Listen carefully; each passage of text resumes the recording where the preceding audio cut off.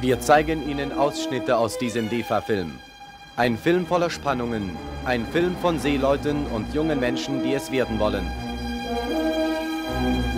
Klar zur Eise! Halt! Ich kann ihn nicht im Stich lassen. Und ich?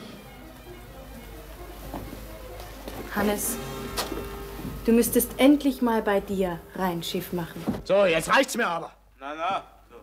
Ich komme mir hier vor wie auf einer Gerichtsverhandlung. Da denkt er denn, ich hab das absichtlich getan?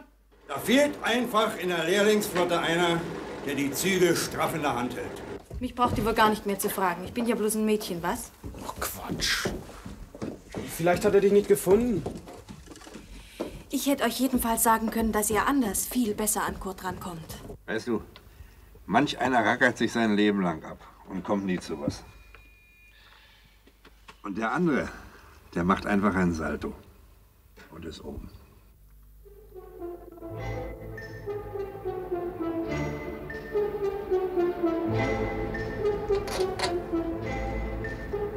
Der hat wohl nicht alle Tassen im Schrank. Aufmachen! Hey! Mach das Schott auf! Macht auf! Fischkombinat für Havel. Fischkombinat für Havel. Havel, bitte melden. Havel für Fischkombinat.